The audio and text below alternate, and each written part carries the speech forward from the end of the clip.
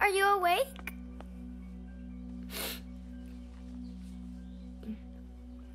Are you crying? I'm not crying, dear. I was so scared. Why did you get sick? Jasmine, darling, why did you wake up Mommy? That wasn't nice. I didn't. She woke up herself. Hi, ma'am. I hope you're feeling better. Yes. Come, let's get you ready or you'll be late for kindergarten. I don't want to go today. But what do you mean, honey? She won't be going today. She won't be leaving the house from now on or going to school. And you'll be keeping an eye on her the whole time. Don't leave her alone. Not even for a second. Understand? Yes, I do, ma'am.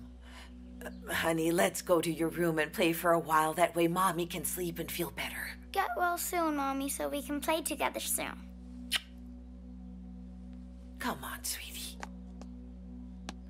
Alma, Yes, ma'am? where's Gerald? He's downstairs talking to some officers. Officers. The police are here? Take a look at Kerem's computer. I have a computer. I'll bring it down to the station. Leyla?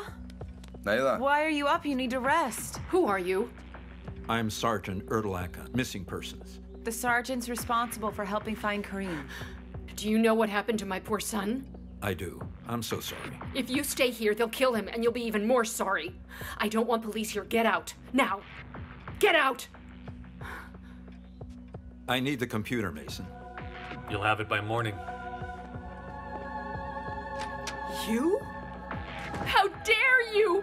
How dare you come back into my oh, house! Leyla! Leyla! Everything that's Leyla, happening to my Leyla, boy is Leyla, your stop. fault! This is Leyla. all your fault, you Leyla. hear me? Do you know what they did to my little boy? You!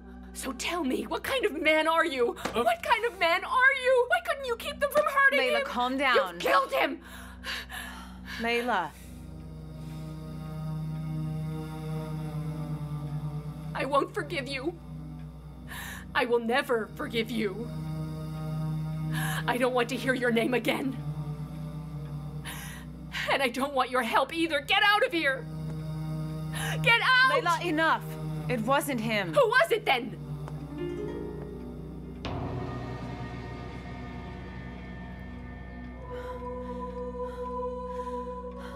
How much longer do you plan to hide it from her, Mr. Gerald?